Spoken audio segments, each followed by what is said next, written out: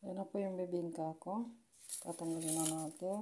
Tingnan natin kung luto na siya. Ayan. Sarap po. Oh. Yan yung bibingka ko. Bibingka. Ano?